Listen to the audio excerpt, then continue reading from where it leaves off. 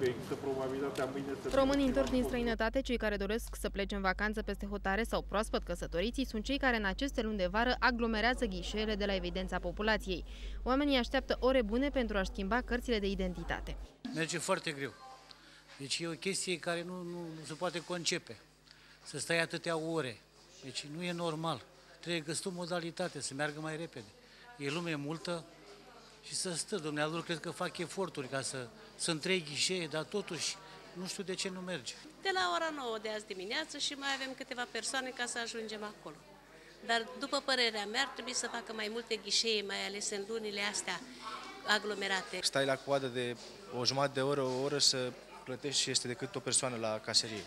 Deci nu se poate așa ceva. Trebuie reorganizat uh, acest sistem. E destul de organizat. Suntem mulțumit prin faptul că sunt bonuri de ordine, de la primire, poate cum era înainte în partea de stătea, era moarte de om, acum e în regulă. Nu doar numărul de cereri provoacă aglomerații la Direcția de Evidență a Populației. În acest an a fost implementat un sistem informatic și au fost sincope la nivel național, care au dus la blocarea activității.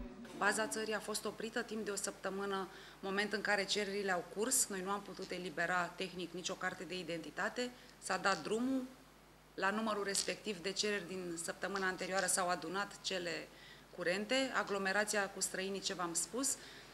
Asta a dus la o din păcate, la o uh, mărire a termenului de eliberare. Termenul în momentul de față este de 28 de zile. Zilnic peste 200 de persoane vin la evidența populației pentru a-și schimba actele. Programul de funcționare este de luni până vineri între 8.30 și 16.30, iar miercuri este prelungit până la ora 18.30.